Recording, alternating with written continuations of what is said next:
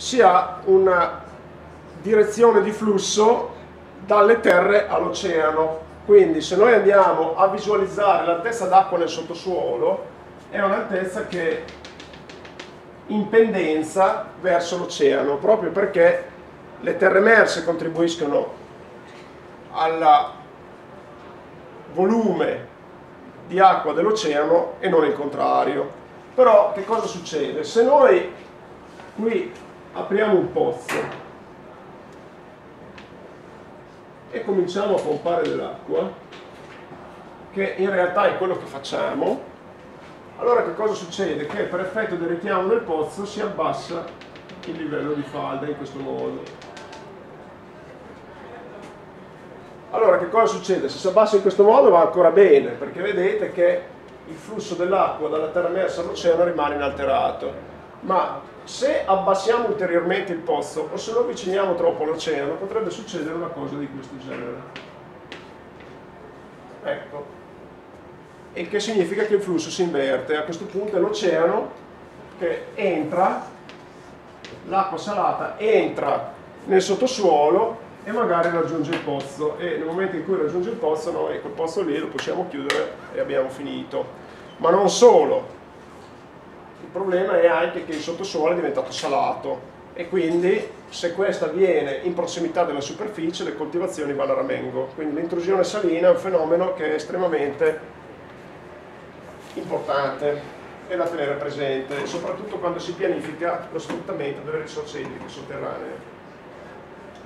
Bene, andiamo avanti. Ecco, questo, qua cominciamo a parlare del ciclo idrologico e questo mi permette poi di introdurvi tra poco una panoramica delle precipitazioni e dei deflussi. Ecco, questo slide non dice molto, di più di quello che io vi ho già detto. Ecco, come vedete che cosa c'è scritto lì? C'è scritto ds su dt uguale imp meno out. Imp è il mio QE, out è il mio QU e S è ciò che io ho indicato con W, ovvero il volume idrico immagazzinato nel volume di controllo. Ecco, praticamente qui avete una figura che vi fa vedere con un dettaglio un pochino maggiore eh, quali sono i flussi in gioco, o meglio, quali sono i termini dell'equazione di bilancio da tenere presenti allora vedete che se eh, questo è in generale una porzione di suolo, quindi può essere un bacino idrografico, può essere quello che volete, che cosa mette in evidenza? Mette in evidenza l'evaporazione dal ground, mette in evidenza l'evaporazione dalla superficie, ES, mette in evidenza TG, mi pare che sia, ogni figura ha le sue, comunque direi che TG dovrebbe essere una traspirazione dal ground, la traspirazione che cos'è? L'evaporazione lo conoscete che cos'è? È il fenomeno di passaggio dell'acqua dallo stato liquido allo stato di vapore. La traspirazione invece è operata dalle piante, dalla vegetazione, che di fatto assorbono acqua dal terreno o possono assorbirla anche dalla superficie del suolo e poi la restituiscono in atmosfera attraverso la traspirazione. I due fenomeni sono molto diversi tra di loro, l'evaporazione e la traspirazione, ma spesso vengono associati perché producono lo stesso effetto finale. Eh? E allora vedete che c'è una traspirazione dal suolo, una traspirazione dal, dal terreno, ground, e eh, poi vedete che viene, infatti qui viene considerata come evapotraspirazione, ET, e poi ci sono il flusso entrante da falda, il flusso della falda al corso d'acqua, eccetera, eccetera. Ecco, questi sono i vari termini che vanno considerati. Purtroppo alcuni di questi non sono facili da considerare, allora poi noi faremo delle semplificazioni. Bene, la prima semplificazione che possiamo fare è quella di riferirci al bacino idrografico. Il bacino idrografico per noi è un volume di controllo molto conveniente e cerchiamo di capire perché. Intanto definiamolo che cos'è il bacino idrografico. Io l'ho già definito, a chi di voi ha fatto costruzioni idrauliche con me, l'ho già definito l'anno scorso. Lo ridefinisco perché per noi è un punto di riferimento essenziale. Tenete presente che la moderna teoria idrologica e la teoria della gestione delle risorse idriche dice espressamente che il contesto geografico ideale di riferimento rispetto al quale pianificare l'uso della risorsa è il bacino idrografico. Questo perché? Perché il bacino idrografico costituisce una regione autonoma dal punto di vista idrologico. E adesso vi spiego cosa vuol dire autonoma, premettendo la definizione di bacino idrografico. Che cos'è il bacino idrografico? Allora, il bacino idrografico fa riferimento a una sezione fluviale trasversale, a una sezione di un corso d'acqua. Quindi quando si parla di un bacino idrografico bisogna sempre specificare la sezione fluviale che lo chiude, chiamata anche sezione di chiusura.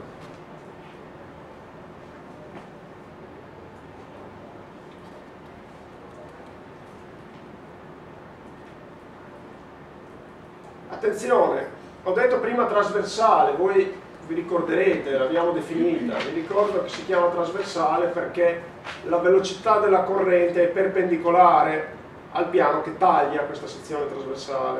Eh. Fondamentale, se voi tirate una, una sezione obliqua rispetto alle linee di corrente non ci siamo, deve essere perpendicolare. Allora, ripeto, il bacino idrografico fa riferimento a una sezione fluviale ed è definito il bacino idrografico come la porzione di superficie, il bacino idrografico è definito come la porzione di superficie geografica.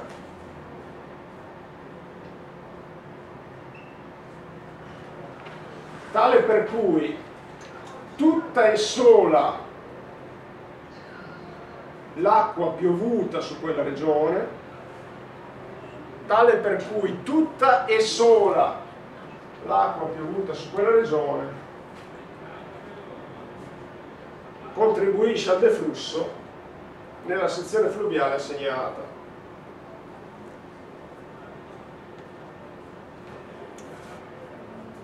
Contribuisce al deflusso nella sezione fluviale assegnata. Allora, ripeto, il bacino idrografico è quella porzione di superficie geografica tale per cui tutta e sola l'acqua piovuta su quella regione contribuisce al deflusso nella sezione fluviale considerata. Ecco, ho detto piovuta, avrei dovuto dire precipitata, scusate, eh, perché c'è anche la neve, volendo, non volendo c'è anche la neve laddove questa si verifica. Eh, quindi tutta e solo l'acqua precipitata su quella regione contribuisce al deflusso. Allora, che vantaggio dà riferirsi a questa porzione di superficie geografica e perché il bacino idrografico è autonomo? Perché il termine di ingresso è immediatamente identificato, il termine di ingresso di idrico è immediatamente identificato, tutta e sola l'acqua piovuta su quella regione, escludiamo gli ingressi da falda. Eh? E allora basta misurare l'acqua, la, scusatemi, la precipitazione e il termine di ingresso è già definito.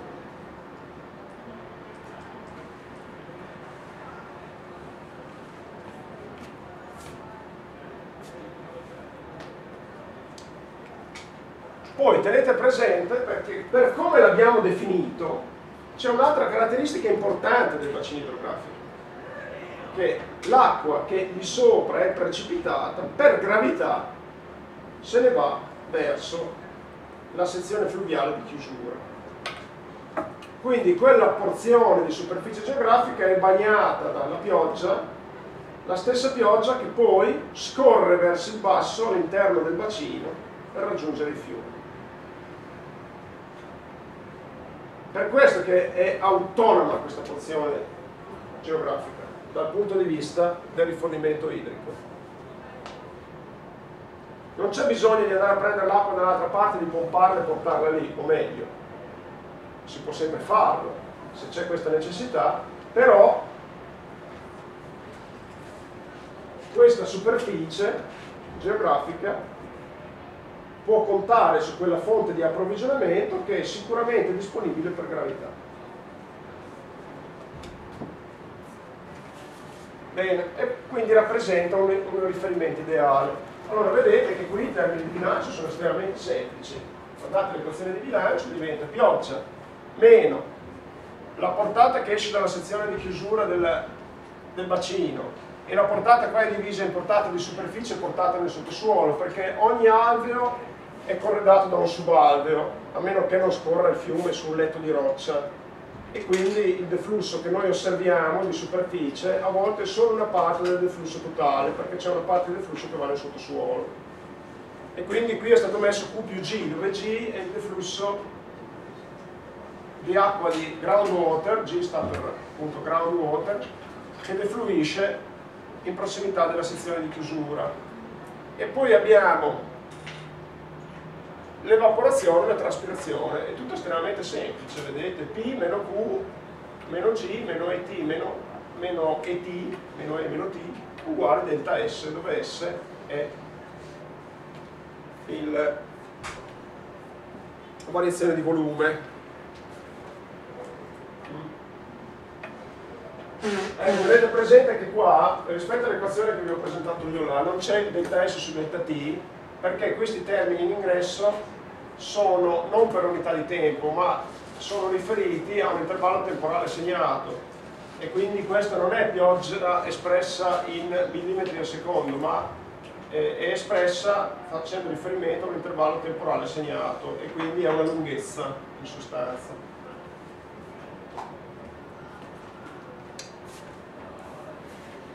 Bene, se ci sono aspetti non chiari, mi raccomando, eh, fatemeli presenti. E adesso passiamo a, al clima e, come vi avevo anticipato, alla distribuzione della precipitazione. Allora, vi faccio vedere un paio di grafici e, eh, ripeto, è abbastanza importante concentrarsi sugli ordini di grandezza. Allora, intanto, cominciamo subito a osservare che il blu è dove piove meno e il rosso, o meglio il bianco, cioè diciamo rosso eh, porpora e bianco dove piove di più. Allora dov'è che piove di più? Attorno all'equatore, non è un mistero. E poi ci sono altre zone eh, che sono molto piovose nel pianeta, però vedete che c'è una certa regolarità, no? Attorno all'equatore c'è una fascia rossa, nelle medie latitudini c'è una fascia verde, e eh, agli estremi abbiamo delle fasce blu.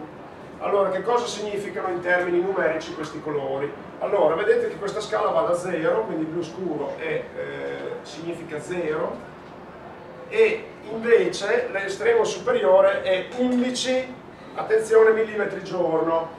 11 mm giorno, facciamo i conti che siano 10, significa che sono più o meno 3 metri e mezzo di acqua l'anno. Quindi questi sono gli estremi, no? da 0 a 3 metri e mezzo, 4 metri. Le zone più piovose, quindi attorno all'equatore, vedete che siamo più o meno attorno a 8-9, eh, siamo a più di 3 metri di acqua all'anno. Ecco, se poi uno si sposta sull'Italia, ma dopo lo vedremo, eh, nell'Italia le zone più piovose sono al nord, in particolare il Friuli, la regione più piovosa d'Italia, piovono circa eh, 2 metri e mezzo, penso di averlo detto ieri, di pioggia, e eh, nella nostra regione qui piovono circa 900 mm, nel sud piovono 500-600 mm, poi vedremo questi dettagli.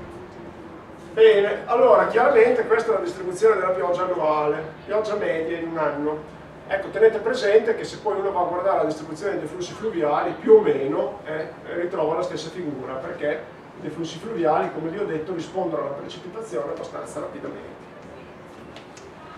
Perfetto, proviamo ad andare avanti e vedere, questa è un'altra figura e dice la stessa cosa, eh, l'unica differenza è che qui lo vedete eh, in modo un po' più chiaro e proiettato su un piano, qua invece era, il globo non era proiettato su un piano ma su una superficie ellittica, qui è proiettato sul piano e vedete la stessa cosa e che i colori sono leggermente diversi perché, beh no, diciamo che più o meno sono gli stessi, però no, sono diversi perché qua la, le zone più siccitose sono evidenziate in giallo e le zone blu invece sono zone ad alta piovosità. Ecco, vedete osservando questa cartina che l'Italia sta sul verde un po' scuro e ah, questi sono, attenzione, questi sono millimetri mese, per cui dovete moltiplicare più o meno per 10, no? Ecco, l'Italia è colorata con un verde un po' più scuro e per cui vedete che il verde un po' più scuro è attorno a 75, 75 per 10 fa 750, dovrebbe essere moltiplicato per 12, sì, ci siamo, attorno ai 900 mm. Ecco, questo è quello che vi deve... Eh, questa però è, è, la precipitazione media mensile per un anno. Eh. ma comunque diciamo che quando ci si riferisce all'intervallo temporale di un anno ci sono delle variazioni su, che non sono molto significative sulla, sulle medie mensili, cioè sulla, sulla, sul totale annuale. Diciamo. E non sono molto significative perché è già un periodo abbastanza lungo, poi ci sono degli anni siccitosi, chiaramente, degli anni piovosi, questo ad esempio è stato un anno piovoso per, per l'Italia del nord.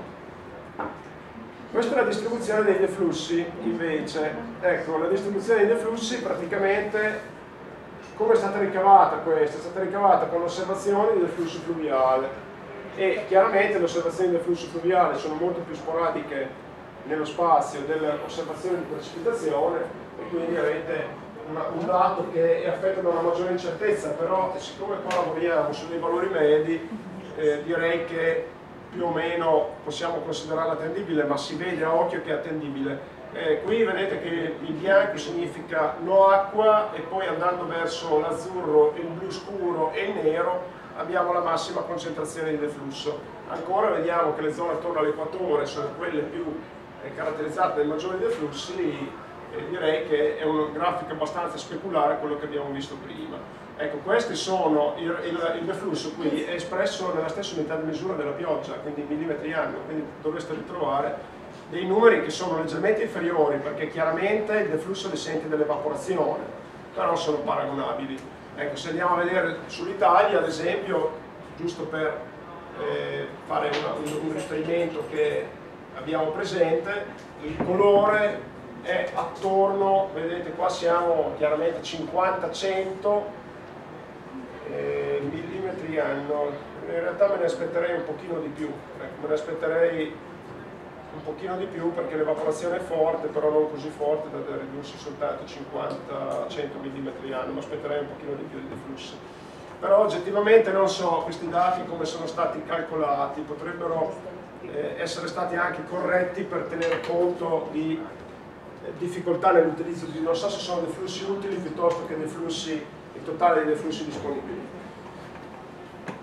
In ogni caso la distribuzione relativa è, rispecchia la distribuzione delle precipitazioni. E adesso andiamo invece a eh, vedere delle situazioni di maggiore dettaglio sul regime dei deflussi fluviali eh, per alcuni fiumi importanti del mondo. Che cos'è il regime dei deflussi fluviali? Vediamo di definirlo. Il regime dei deflussi è dato, lo vedete scritto là in alto, dalla distribuzione dei deflussi medi durante l'anno. Tipicamente il regime del deflusso fluviale viene esemplificato riportando i valori delle portate medie mensili. Qui è stato fatto questo. Vedete che in basso ci sono i mesi dell'anno e per diversi fiumi vengono riportati la distribuzione dei deflussi. Allora tenete presente che come uno si aspetterebbe la distribuzione dei deflussi, il regime dei deflussi varia al variare dell'area geografica interessata. I fiumi italiani localizzati in regioni dominate da clima continentale, tipo l'Emilia Romagna, hanno un regime dei deflussi caratterizzato da due picchi, uno primaverile l'altro autunnale, e due magre, uno invernale e uno estiva. Tipicamente nell'Italia del nord il picco di deflusso autunnale è più pronunciato di quello primaverile e la magra estiva è più pronunciata di quella invernale. Poi vedremo dei dettagli sull'Italia, eh. ci arriviamo.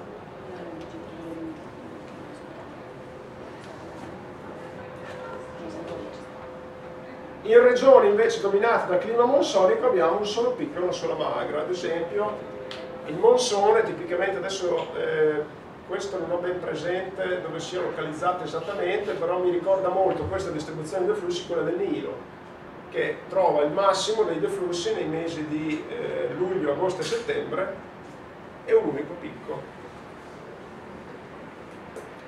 Il Nilo è spostato leggermente un po' più avanti, perché il picco ce l'ha in settembre-ottobre direi, ma però il Nilo non lo vedo. Il fiume Senegal ha un regime del tutto simile, vedete, questi sono regimi monsonici. Ecco, poi ci sono dei fiumi anche più regolari di altri, tenete presente che la regolarità dipende anche dall'estensione, cioè più il fiume è esteso e più tende ad essere regolare la distribuzione dei deflussi durante l'anno. Perché?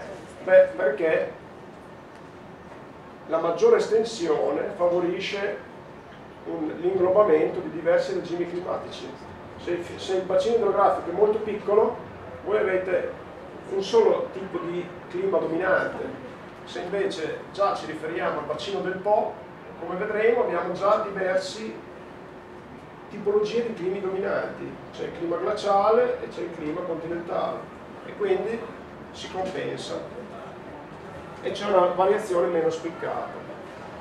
Ciò non toglie che ad esempio nel regime monsonico invece ci sia un'alta variabilità anche per fiumi grandi. Il Nilo ovviamente ha un bacino enorme, però ha una variabilità molto elevata perché il monsone, il clima monsonico è caratterizzato da variazioni delle precipitazioni molto significative. Bene. Vedete che non avevo visto questo commento finale per il Godovari dice clima caratterizzato da anticipate piogge monsoniche infatti vi avevo detto che mi risultava rispetto al Nilo leggermente anticipato. Vabbè. questo non dice nulla, la passo, queste sono le zone aride del mondo, diciamo che questa informazione poteva essere ricavata già da quella precedente sulla distribuzione delle precipitazioni, c'è una grande zona arida localizzata nel deserto del Sahara, questo lo, lo sappiamo perfettamente, e poi anche a nord vi sono eh, delle zone aride all'estremo nord e all'estremo sud. Bene, allora adesso passiamo a dare un'occhiata al clima italiano e questo rappresenta per noi un passo fondamentale per guadagnare una maggiore conoscenza del contesto in cui adesso ci troviamo, in cui molto probabilmente ci troveremo a lavorare. Ecco, tenete presente alcuni aspetti salienti del clima italiano e sostanzialmente, lo sappiamo, l'Italia è una regione montuosa e molto lunga e, e questo favorisce una forte variabilità del clima. Questo complica la gestione delle risorse idriche perché eh, l'associazione la, di nella stessa area amministrativa di aree caratterizzate da clima diverso genera problemi di gestione di tipo diverso che non sempre si riesce a affrontare in modo unitario.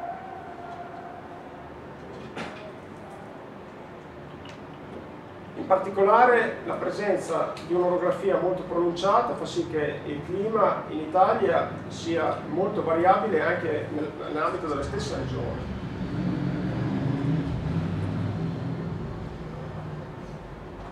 e poi l'estensione della penisola, l'avete scritto lì, per oltre 10 gradi di latitudine, questa è un'estensione veramente notevole. E dal punto di vista, vi anticipo, della gestione delle risorse idriche, l'Italia in passato al, nella parte settentrionale non ha mai sofferto grossi problemi. L'Italia del Sud, l'Italia insulare, già in passato ha una lunga storia di, eh, di problemi di gestione di risorse idriche. Ecco, questi problemi sono difficili da affrontare, come vi dicevo, in soluzione unitaria. Non è pensabile di trasferire parte della risorsa dal nord al sud, perché la risorsa idrica ha anche questa prerogativa che è difficilmente trasferibile, non, non, è possibile, non è pensabile, o meglio, sarebbe estremamente oneroso creare un acquedotto che attraversa l'Italia, così come viene fatto per i gasdotti, anche perché i volumi in gioco sarebbero notevoli quindi eh, le soluzioni che vengono messe in campo sono soluzioni di tipo diverso. Poi tenete presente che ultimamente la eh, situazione ha presentato alcune criticità anche nell'Italia del Nord, questo per motivi legati anche, anche per motivi positivi, cioè motivi legati a un accresciuto benessere sociale che ha cresciuto i fabbisogni idrici, i fabbisogni sono aumentati in modo esorbitante negli ultimi 50 anni ma questo eh, perché? Perché di fatto ad esempio si sono ricercate delle coltivazioni più pregiate, l'agricoltura si è orientata verso una produzione più qualificata e tenete presente che l'irrigazione, l'agricoltura, si porta via il 70% dei consumi di acqua. I consumi per uso civile sono limitati a meno del 10% volendo quantificare, dare dei numeri, vi direi 70% agricoltura, 20% l'industria e 10% l'uso civile. Quindi le scelte che vengono fatte in agricoltura sono fondamentali, i problemi di gestione delle risorse idriche sono water for food, sono problemi water for food, sono problemi di acqua per l'agricoltura, che poi dopo vanno a creare anche problemi per l'uso civile. Però se noi avessimo, tra virgolette, solo il problema di dare acqua per uso civile, probabilmente non esisterebbe questa materia, non esisterebbe il problema stesso, perché volendo anche con delle cisterne, con dei cani in cisterna, il problema non si risolve. Il problema invece è l'irrigazione che fa entrare in gioco dei volumi notevoli. Allora anche in Italia del Nord, mi riallaccio al discorso, lo finisco che stavo facendo, eh, l'accresciuto benessere, la produzione agricola più qualificata, il fatto ad esempio che si producano dei prodotti pregiati tipo il parmigiano reggiano richiede una valanga di acqua, il fatto che anche per uso civile le richieste siano aumentate per una cresciuta popolazione, per un accresciuto benessere, eh, questo ha creato dei problemi, li sta creando, per cui il problema della gestione delle risorse idriche adesso si sentita anche in Italia del Nord. In Emilia Romagna è un problema che certo non è grave, però rappresenta una, una priorità. Ok.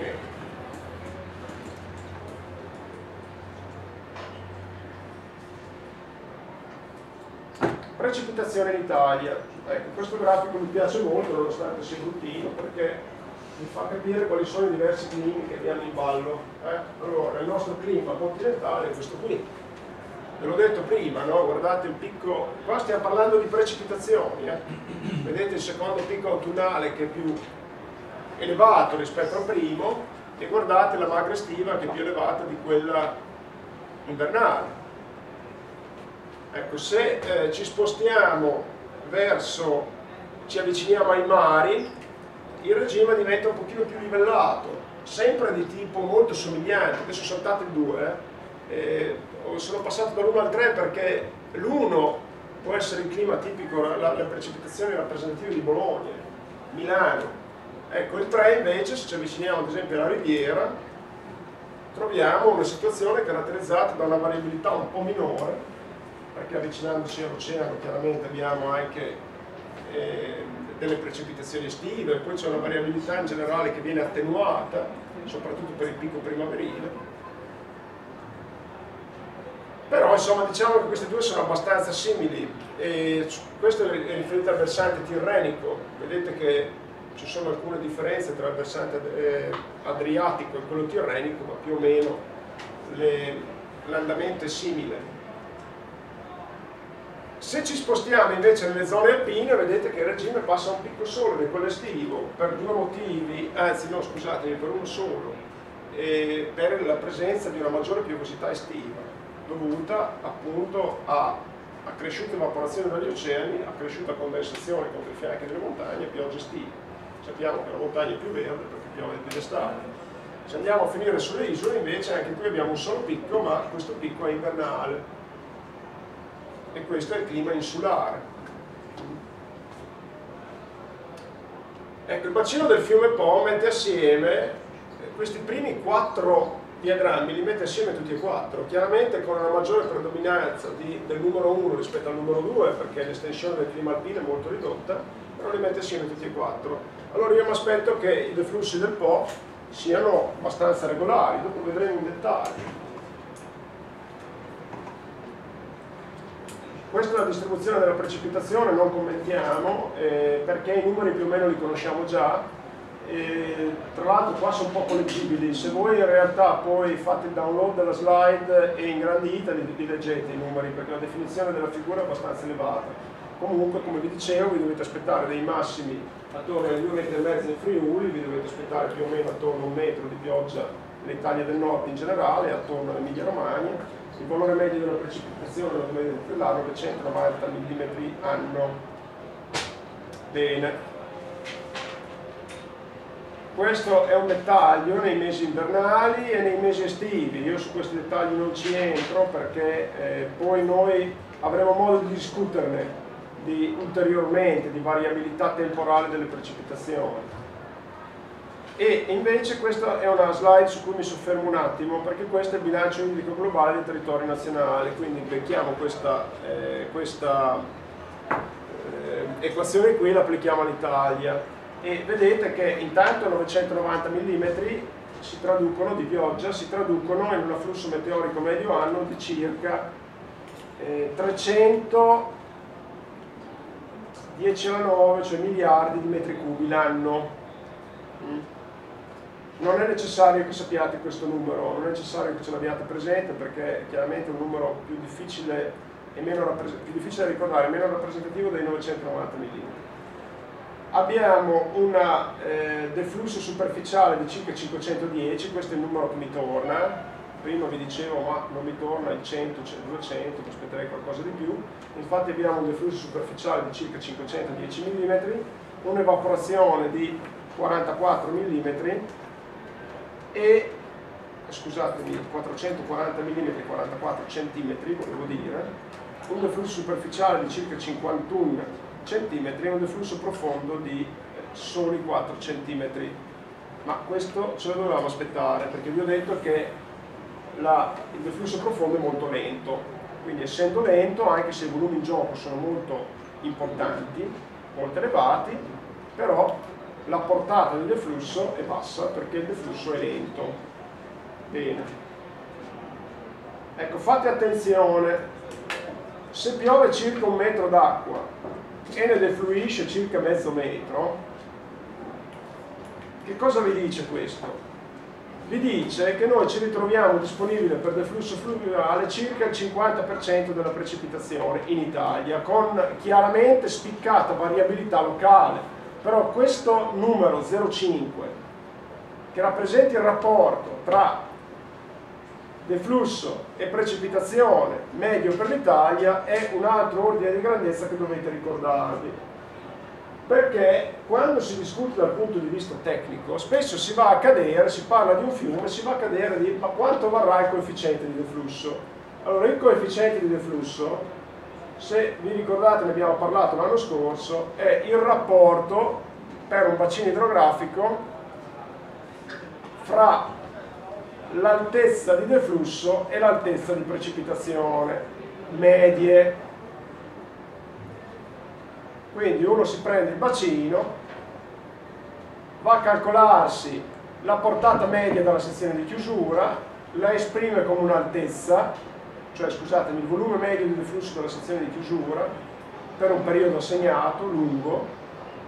Si prende il, deflusso, il volume di deflusso della sezione di chiusura lo si esprime come altezza si prende la precipitazione media sul bacino che è un'altezza, si fa il rapporto e salta fuori il coefficiente di deflusso il coefficiente di deflusso è un numero che per noi è importantissimo perché voi capite che la pioggia più o meno sappiamo quanto vale no?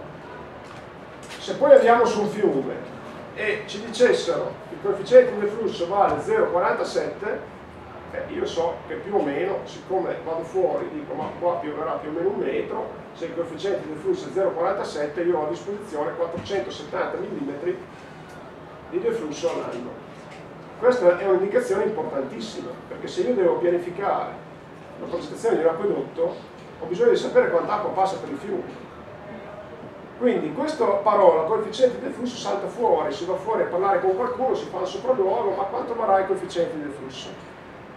Ecco, sfortunatamente valutare i coefficienti del flusso è un'operazione estremamente difficile, perché c'è una variabilità locale enorme per cui uno dovrebbe guardare se il bacino è molto impermeabile, se invece è molto permeabile, uno dovrebbe cercare di capire se evapora molto, se evapora poco, io guarderei l'esposizione, se è un bacino piccolo tutto esposto a nord, evapora poco, e poi cerco di capire a che altezza siamo, se evapora molto, se evapora poco, però è difficile buttare lì un numero. E allora io che, che trucco uso quando mi, viene fatta una domanda del genere, penso, beh, insomma, se dico 0,5 è una grossa stupidata, non la dico, perché è il valore medio italiano, e allora parto da quel numero, no? Poi dopo se vedo molte rocce, e allora dico, beh, 0,7, però quel numero è importante, oppure se sono al sud e vedo che è tutto al sole, è tutto molto brullo, dico 0,3, ecco, allora questa forbice 0307 è quella che uso di solito quando devo indovinare un numero e non devo fare delle figure barbine ecco, questo è fondamentale che lo teniate presente perché, ripeto, queste sono conversazioni che spesso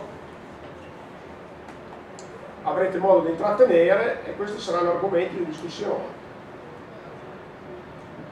Poi è interessante anche andare a guardare se voi prendete gli annali, non li sfogliate, dopo vi parlo degli annali perché per voi sono una fonte di informazione, per me, per noi, essenziale, perché se abbiamo bisogno di dati, se ho bisogno di capire quant'acqua passa per un fiume, la prima cosa che faccio vado a prendere l'annale. L'annale ha ehm, una, una parte degli annali dedicata proprio ai bilanci idrologici, quindi c'è una pagina per ogni fiume e per ogni anno che vi dice quanto piove, vi dice quanta acqua è uscita dalla stazione di chiusura, vi dice il coefficiente di flusso, eccetera, eccetera. E ogni giorno vi dice quanto è piovuto, quanta acqua è uscita. E allora è interessante, uno sfoglia l'annale, lo vedete i numeri dei coefficienti di flusso che saltano fuori per ogni anno e poi la cosa bella dell'annale è che per ogni anno, quando veniva pubblicato, adesso non le pubblicano più, però per ogni anno dava anche il valore del coefficiente del flusso medio fino a quel momento, quindi per tutti gli anni precedenti. Allora è interessante, io molto spesso andavo a guardare, no? dico guarda, devo andare in Toscana a fare un sopralluogo perché magari c'è il collega che avrebbe il piacere di avere una consulenza per la progettazione di una piccola centrale idroelettrica. Allora guardavo, cercavo di capire dove in quella regione lì, coefficiente del flusso, quanto valgono, anche se non trovavo quel corso d'acqua, eh, però mi facevo un'idea. Quindi gli annali lo riportano questo valore. Muy bien. E questo è un altro aspetto che è importantissimo per la gestione, la stagionalità dei deflussi. E allora, eh, dopo c'è qualche grafico. Qui è interessante vedere come si comporta il Po rispetto ad altri tipi di bacini. Partiamo dal Po, no? che rappresenta pur sempre il più importante fiume italiano, molto sfruttato per i prelievi idrici. Il Po è molto sfruttato, l'acqua dei Po viene utilizzata per l'irrigazione, viene utilizzata eh, per eh, la l'approvvigionamento tramite il canale Vignano Romagnolo anche di una grande